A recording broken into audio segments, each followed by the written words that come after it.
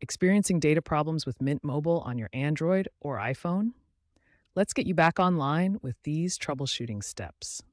First, perform these basic checks. Restart your phone, ensure airplane mode is off, verify you're in an area with Mint Mobile coverage, and check your data usage in your phone's settings and the Mint Mobile app to rule out data depletion. If basic checks don't work, the most common culprit is incorrect APN settings. The APN is the gateway that connects your device to Mint Mobile's network. Incorrect APN settings are the most common cause of data issues. For Android devices, go to Settings, then Network and Internet, Mobile Network, and Access Point names. Create a new APN with these specific settings. Name is Mint, APN is wholesale, and enter the MMSC, MCC, MNC, and other values as shown. For iPhone users, navigate to Settings, then Cellular and Cellular Data Network. Enter the APN as wholesale along with the MMSC URL, MMS max message size, and MMS UA profile URL as shown.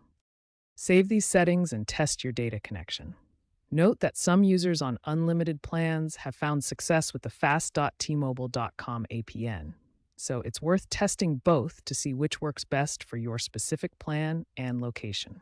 If basic troubleshooting didn't work, we need to try more advanced solutions.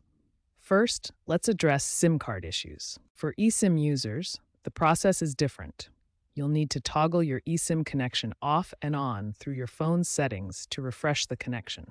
Next, try resetting your network settings. This will clear Wi Fi passwords, cellular settings, and VPN configurations, often resolving underlying connectivity issues. For Android users, the path is typically Settings, Network and Internet, Reset Options, then Reset Wi Fi, Mobile, and Bluetooth. Make sure your phone's operating system is up to date, as outdated software can cause connectivity problems iPhone users should also disable Wi Fi Assist to prevent automatic switching to cellular data when Wi Fi is weak.